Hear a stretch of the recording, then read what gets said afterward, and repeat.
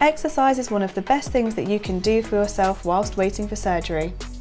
In the short term, physical activity signals your body to produce synovial fluid, or joint fluid, which acts like a lubricant surrounding the joint and helping your bones to move smoothly past each other. As a result, you might actually feel less pain during and after exercise.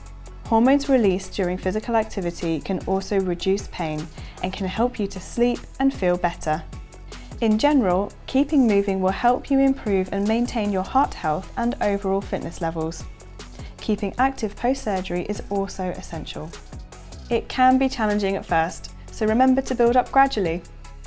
Any improvements to your general fitness pre-surgery will also help make rehabilitation easier.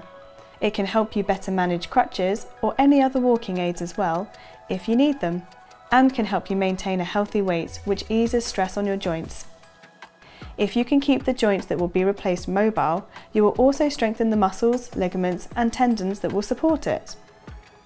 These tissues act like an organic brace.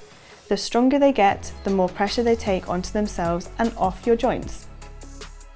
The stronger and more mobile your joint is before surgery, the more likely you'll recover quickly. So don't delay. The sooner you get started, the sooner you'll start feeling better and the more prepared your body will be for recovery. Set realistic daily goals, seek support from friends and family, and focus on what you can do. Start small and go from there.